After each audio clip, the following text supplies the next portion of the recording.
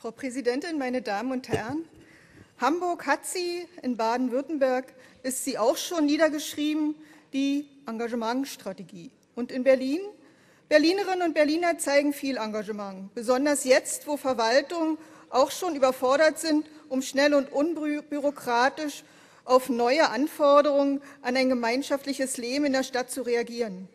Beispiele dafür haben wir heute in der Aktuellen Stunde zur Flüchtlingspolitik zur Genüge aufgezeigt.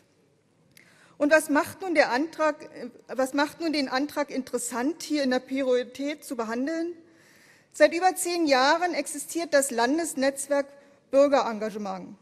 Es gibt Freiwilligenagenturen, Mehrgenerationenhäuser, Bürgerstiftungen, Kiez-Juries, eine gemeinsame Unfallversicherung wurde abgeschlossen.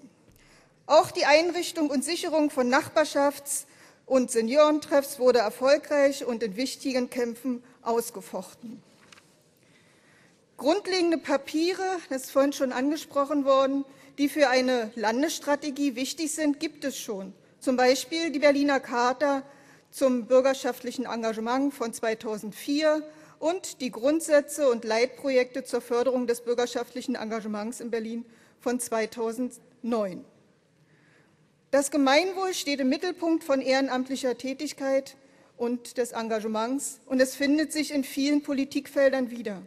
Sie geht längst über die Klassiker Soziales, Kultur und Bildung hinaus und sind gerade auch in lebensgestaltenden Bereichen wie Stadtentwicklung sowie Umwelt- und Tierschutz für Verwaltung nicht immer einfach zu handeln.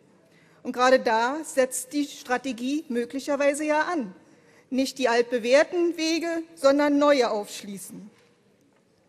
Die Vielfältigkeit von ehrenamtlicher Arbeit ist schon jetzt in unzähligen Fachtagungen auch für Berlin dokumentiert. Der nächste Expertenworkshop zur Zukunft der Berliner Engagementlandschaft ist, wie schon angekündigt, im Oktober hier in der Stadt zu Hause. Meine Damen und Herren, wie wichtig es ist, die Komplexität der Verwaltungsarbeit äh, gerecht zu werden, stellt sich besonders dann heraus, wenn es um ressortübergreifende Themen geht.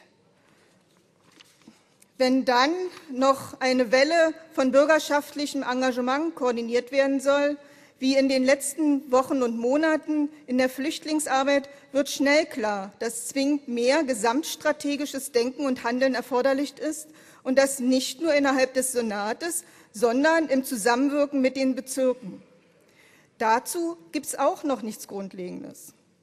All den Berlinerinnen und Berlinern gilt unser besonderer Dank und Hochachtung, die sich in ihrem wichtigen Engagement für unser Gemeinwohl trotz der immer wieder vorhandenen Hemmnisse nicht entmutigen lassen.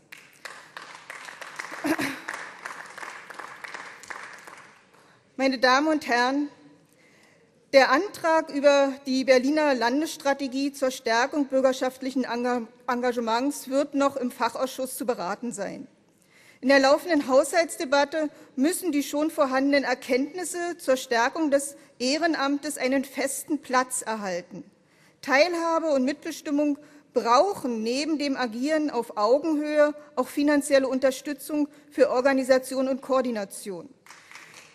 Die Linksfraktion wird darauf in den nächsten Wochen besonders achten, und natürlich ist es der richtige Zeitpunkt. Danke.